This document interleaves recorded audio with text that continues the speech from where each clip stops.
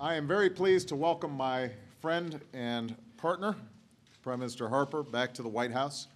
Uh, whenever we get together, uh, it's a chance to reaffirm the enduring alliance between our nations, uh, the extraordinary bonds between our peoples, uh, the excellent cooperation between our governments, and my close personal friendship uh, to the Prime Minister.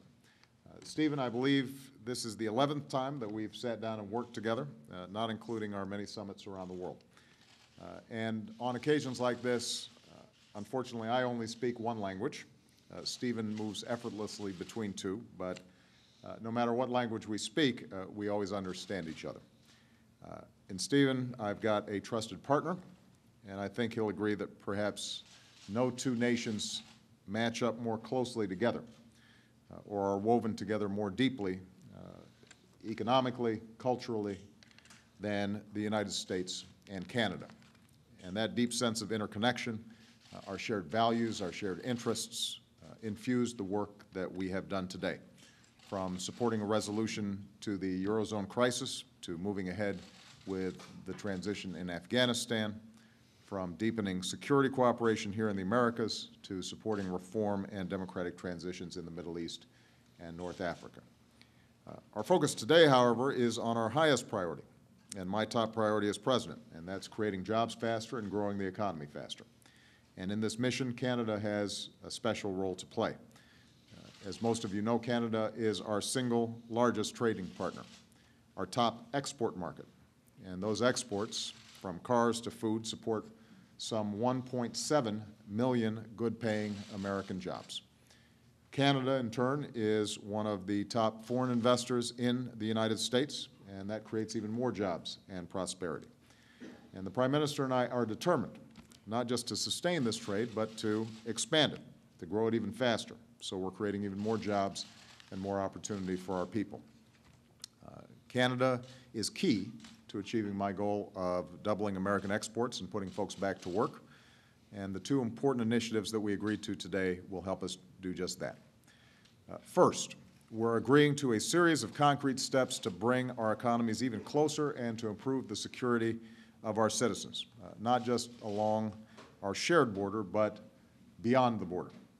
Uh, put simply, we're going to make it easier to uh, conduct the trade and travel that creates jobs, and we're going to make it harder for those who would do us harm and threaten our security. Uh, for example, some 90 percent of all our trade, more than a billion dollars in trade every single day, passes through our roads, our bridges, and our ports. But because of old systems and heavy congestion, it still takes too many products too long to cross our borders. And for every business, either Canadian or American, time is money.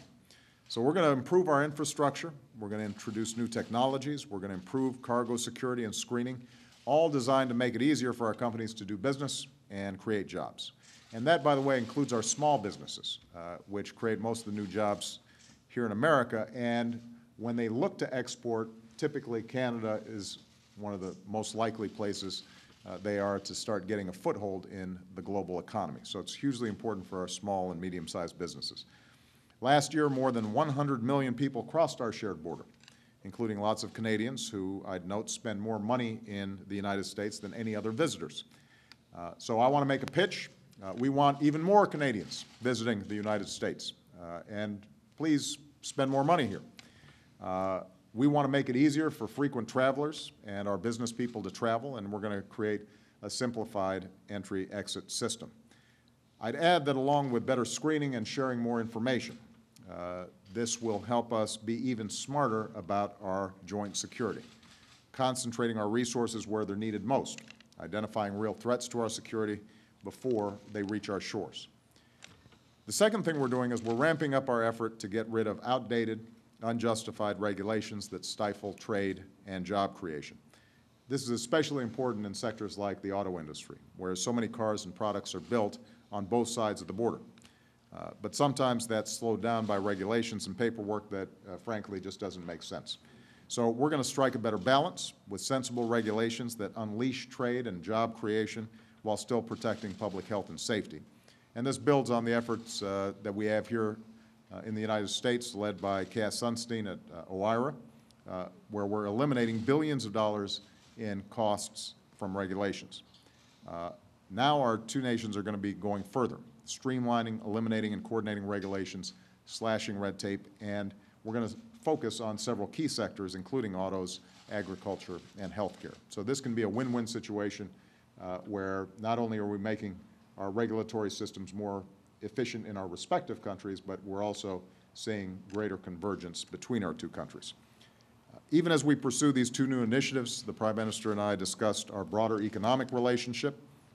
Uh, I'm pleased that Canada's expressed an interest in the uh, Trans-Pacific Partnership. Uh, Many of you accompanied me to the APEC meeting where you know that uh, this has generated a great deal of interest. Uh, So we look forward to consulting with Canada, as well as our TPP partners and others about how all of us can meet the high standards demanded by this trade agreement, and it can be, I think, a real model not only for the region but for the world.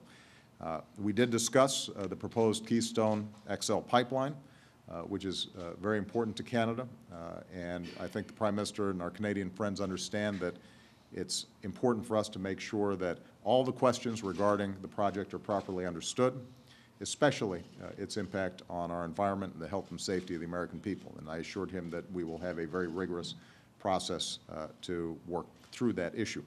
So we're going to continue to work uh, as partners and as friends.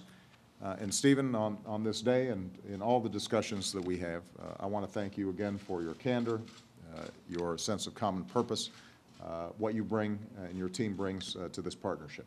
It's been extraordinary, and I want to personally thank you for the progress that our team's made in these two very important announcements that we made today. I'm confident, by the way, that we are going to implement them diligently. We have uh, folks like Secretary Napolitano uh, from Department of Homeland Security and and Cass Sunstein, who are going to be heading up our team uh, and making sure that these things go into effect uh, in a way that benefits both the Canadian people and uh, the American people. And so, uh, Stephen, uh, to all the people of Canada, thank you.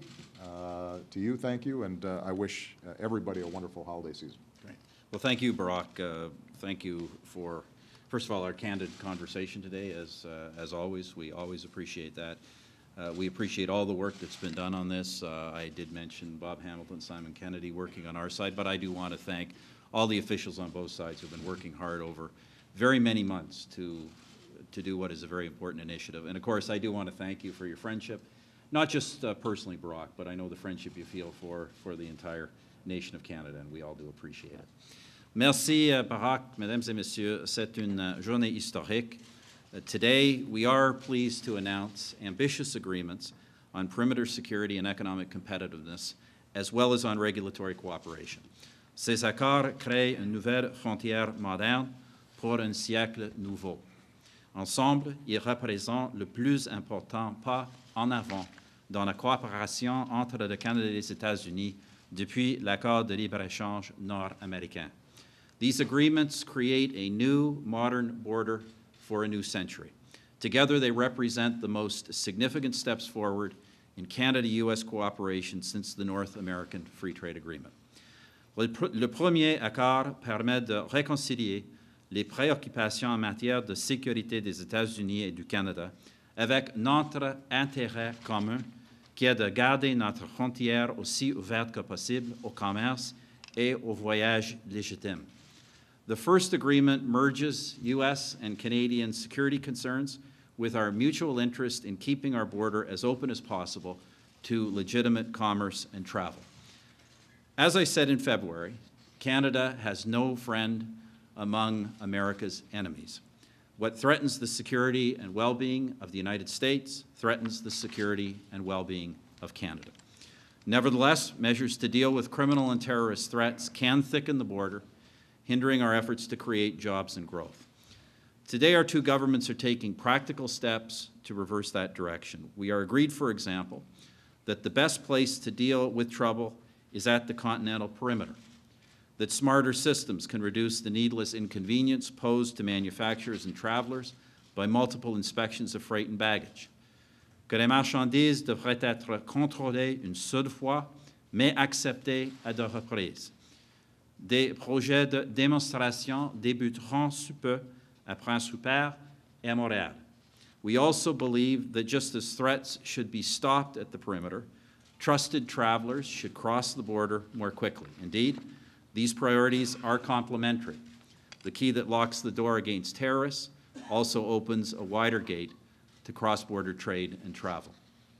La deuxième initiative conjointe réduira les obstacles réglementaires au commerce en rationalisant et en harmonisant les normes là où la simple logique l'impose.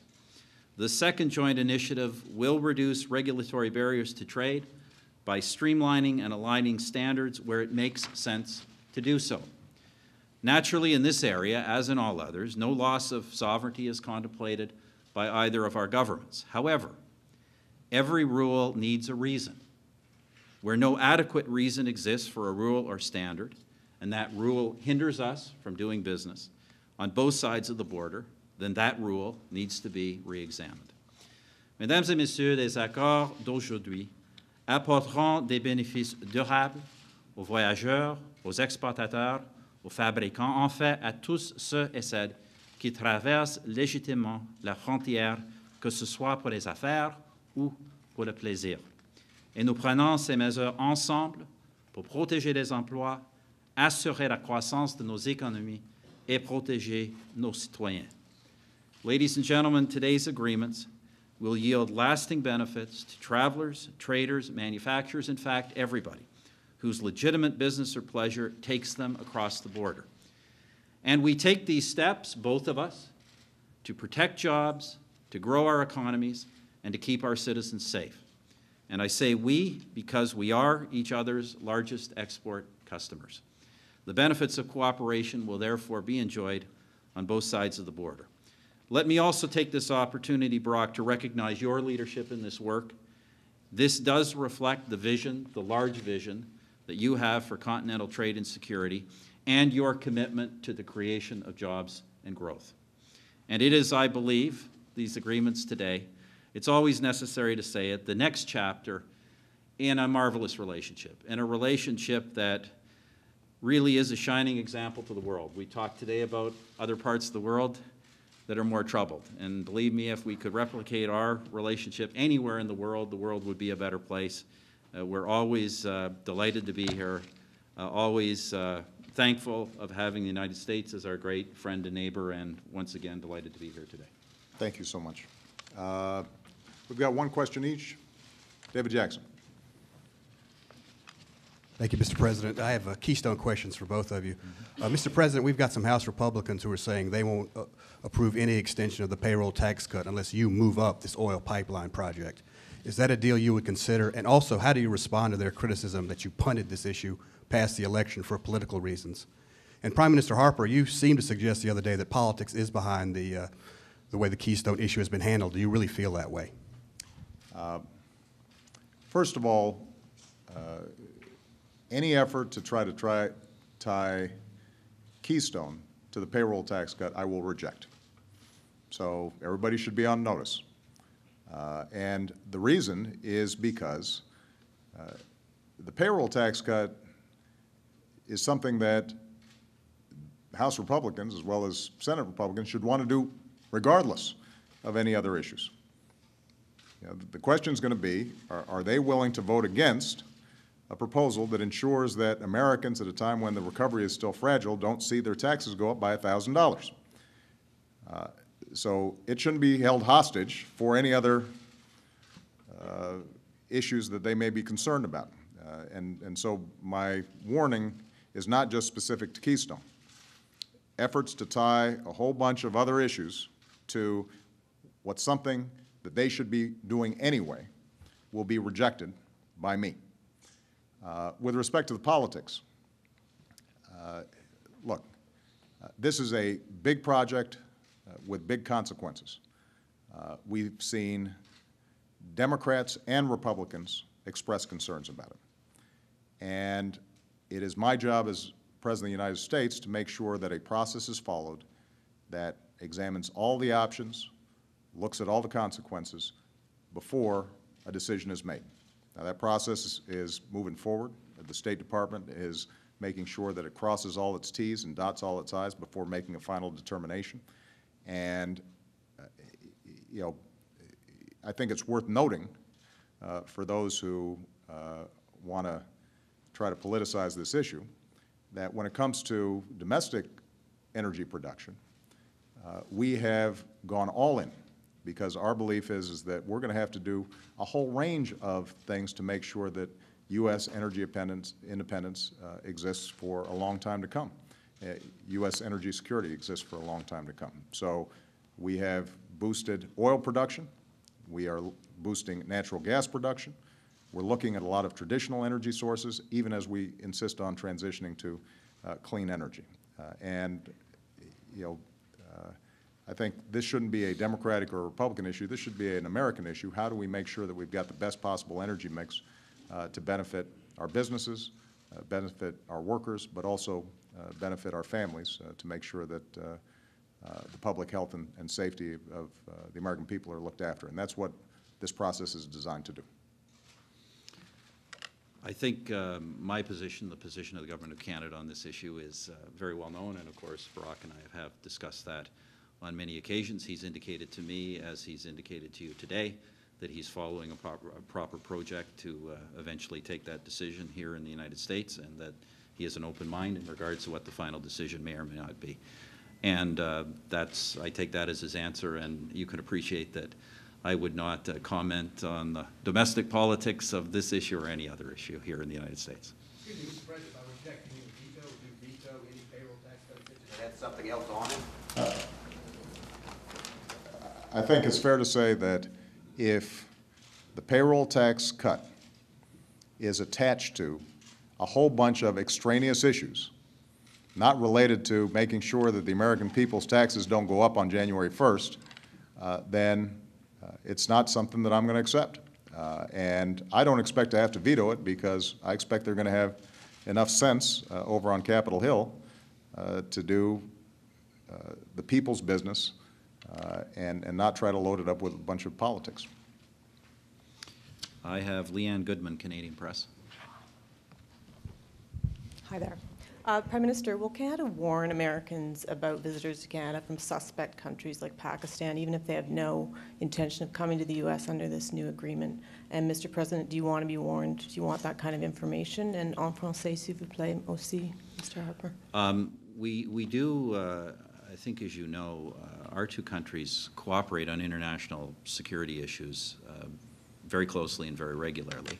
That cooperation at the same time is governed by uh, agreements and defined protocols, and those will remain in effect.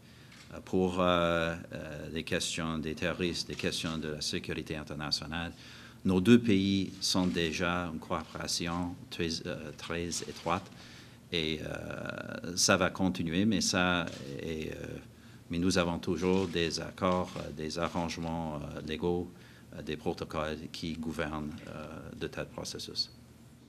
I don't think I can uh, expand uh, any more on that. Uh, Far more eloquent than, uh, than I could ever uh, express it. Okay? Thank you so much, everybody. Thanks, everybody.